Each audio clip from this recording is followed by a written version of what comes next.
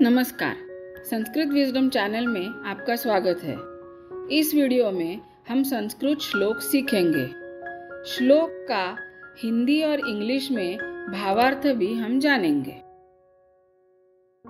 वक्रतुंड महाकाय, सूर्यकोटि समप्रभ, निर्विघ्नं कुरु मे देव, सर्वकार्येषु सर्वदा।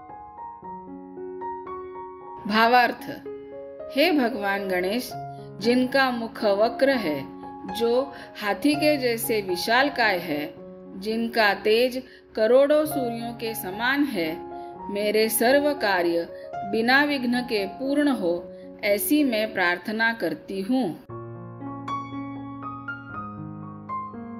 Meaning in English O Ganesha the great one who has a curved elephant trunk a huge body, and whose brilliance is equal to millions of suns, may you always remove obstacles from all my endeavors. आशा करती हूँ कि आपको यह video पसंद आया होगा video को लाइक शेयर और चैनल को सब्सक्राइब अवश्य कीजिए धन्यवाद